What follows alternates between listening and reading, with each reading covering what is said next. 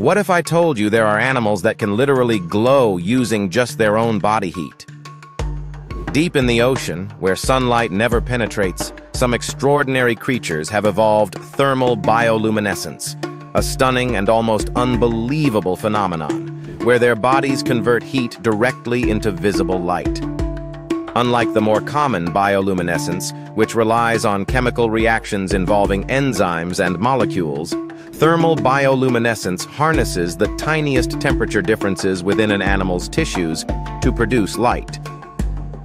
For example, the deep-sea dragonfish has specialized organs packed with unique proteins that, when warmed by the fish's own body heat, emit a faint but distinct blue-green glow. This eerie light is perfectly tuned to travel far in the dark water while remaining nearly invisible to predators and prey alike. Scientists believe this rare adaptation helps these creatures communicate silently, attract mates in the pitch-black depths, or lure unsuspecting prey into striking range.